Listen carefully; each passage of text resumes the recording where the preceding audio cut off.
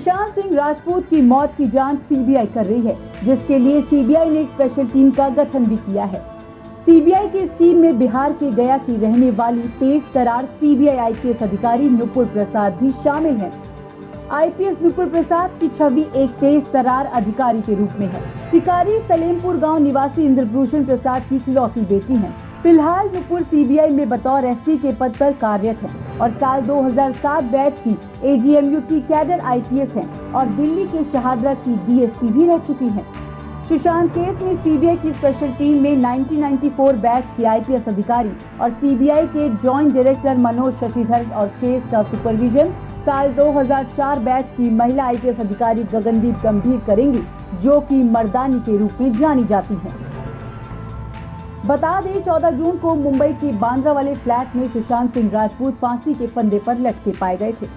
Actor की मौत के लगभग 40 दिन बाद सुशांत के पिता ने पटना में रिया चक्रवर्ती के खिलाफ एफआईआर दर्ज कराई।